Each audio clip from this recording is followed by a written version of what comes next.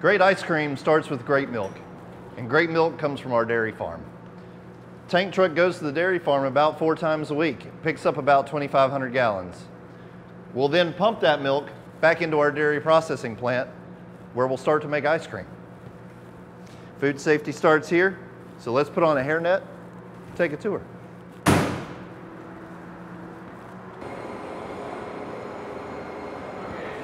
Now let's talk about raw milk storage and pasteurization. If you look to our wall here, you'll see stainless steel pipes. Those will feed my tank truck into my raw bulk storage tank. RT1 holds about 2,500 gallons of milk. We can store that milk just for a few minutes, or we can store it overnight. If we're storing it overnight, somewhere around 35 degrees, we want to make sure that we have a chart recorder. Our chart recorder will keep temperature overnight so that we know that we don't have any temperature aberrations. From our raw storage tank, that'll feed our separator. Our separator is really just a giant centrifuge. The separator is going to take our raw milk and separate it out into its fat parts. So we'll have heavy cream, whole milk, and skim milk. From there, we'll move into our bulk tank system.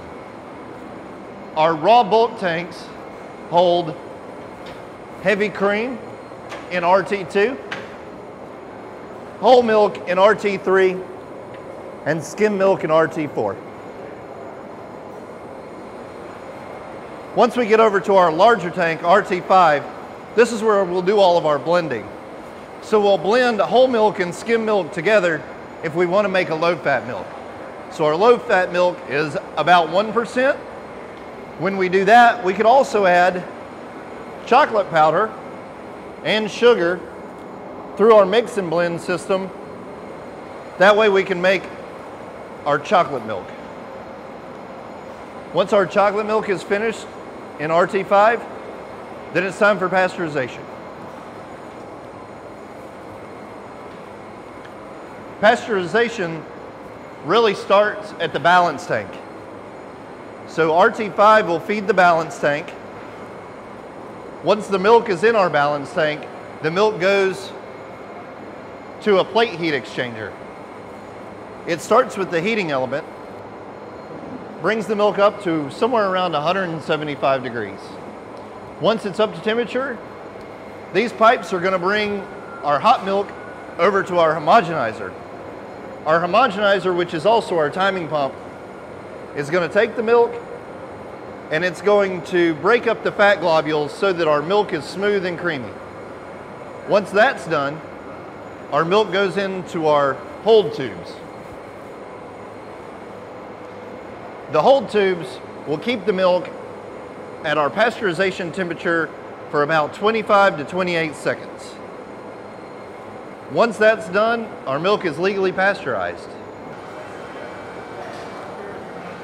So this is our pasteurized control center. We have a process chart recorder and a cooling chart recorder. Our process chart recorder will record our actual hot water set temperature and then it will record our product temperature.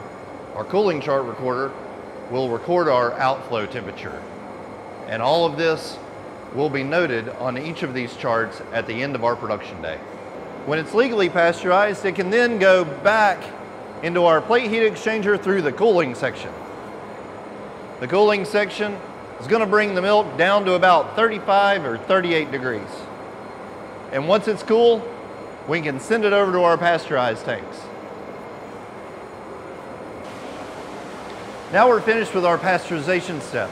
And we pasteurize the milk to reduce any possible harmful bacteria that might have been in there so that the product is safe for consumption. We can now pump the milk into one of our pasteurized tanks. Our pasteurized tanks are insulated and jacketed much like our raw tanks are and temperature controlled. We have a chart recorder so that we know that we've kept a proper temperature overnight for our ice cream mix. Now let's go freeze some ice cream.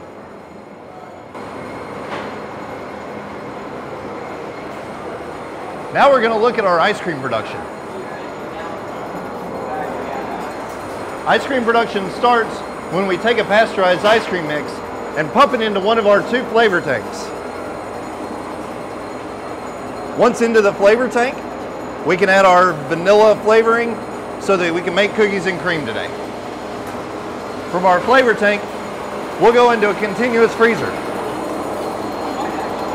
Our continuous freezer will bring the ice cream mix down to about 23 degrees, basically a soft serve consistency. Once it's soft serve consistency, we'll be able to go into our fruit feeder where we can add our nuts, chocolate chips, or any uh, anything like a cookie dough, cookies that we're making cookies and cream today. Then through our frosty pipe, we'll go down, be able to fill our three gallon tubs. Once we've filled the three gallon tubs, we're gonna label them and then move them to our hardening room.